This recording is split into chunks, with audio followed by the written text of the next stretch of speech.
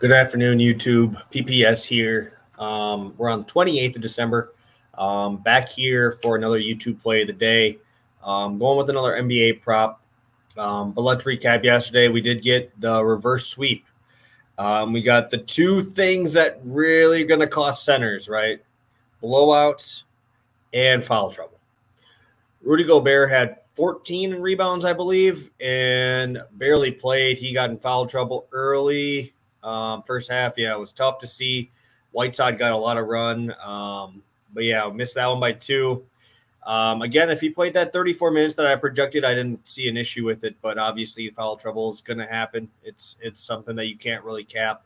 Um, and then a blowout. Christian Wood, um, one one of the weirdest stat lines ever was he went off first quarter, didn't do anything second quarter, goes off to start the third, and then they don't play him in the fourth. Um, I, I just yeah, this Rockets team is tough to read, man. I, and I'm just keep getting the the shitty end of the stick um, on that side of it.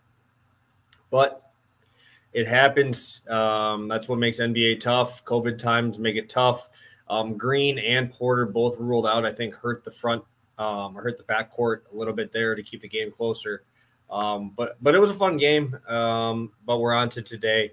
I'm actually going back to this Rockets team but fading them. Actually, I'm going on LeBron James points, rebounds, assists over 44 and a half. Um, I'm seeing 44 and a half on most books here. Um, and I'm seeing around minus 110 everywhere here. I like multiple of his lines today. Um, 44 and a half. Um, yeah, it BetRivers is the best one there with the minus 110, but I like a lot of his options today. I, I, think LeBron goes off today. 28 and a half points, I think, is a good line. Um, I think eight and a half rebounds is a good line. I think six and a half assists is a good line. I like all of them. I like them all together, obviously.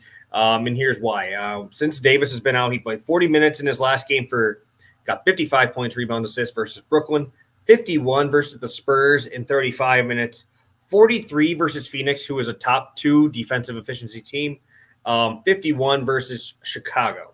Um, so we've been seeing it three out of four games. Only game he missed was against a very good Phoenix team, and that was also an 18 point blowout.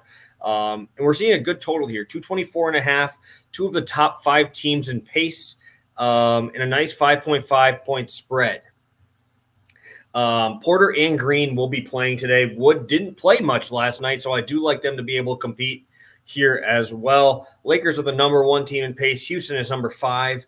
Um, and Houston is also the second worst, um, um, second worst in um, defensive efficiency. So we're going to see some points here. But the thing that that doesn't scare me off a ton here is that the Lakers are 26th in the NBA in offensive efficiency. So I don't really see them blowing these guys out. Um, they really, really, really haven't. Shown me too much, you know, that that really has me much for concern of a blowout here. Obviously, they have LeBron, um, but I don't I don't really think they're going to blow these guys out um, with no Davis. Davis versus Wood would have been a fun little matchup there, but you're rolling pretty much Talen Horton Tucker, LeBron, and Russell Westbrook three on five, pretty much. I mean, the, the rest of this team really doesn't do too much. Uh, Malik Monk might have a, a decent day off the bench, but – the Rockets actually, I think, are deeper, which is tough to say. I like Eric Gordon here. Um, I think Eric Gordon has a nice night um, overall as well. Jalen Green back should get his allotment of minutes of 28 to 30. Um, and, and I, I, think the Lakers do win, but I think it's close enough that LeBron gets his minutes here and some run. Um, believe they will be on. Let me check if they will be on national TV tonight. Let me take a peek there because obviously, if LeBron is on national TV, I usually like to ride with him.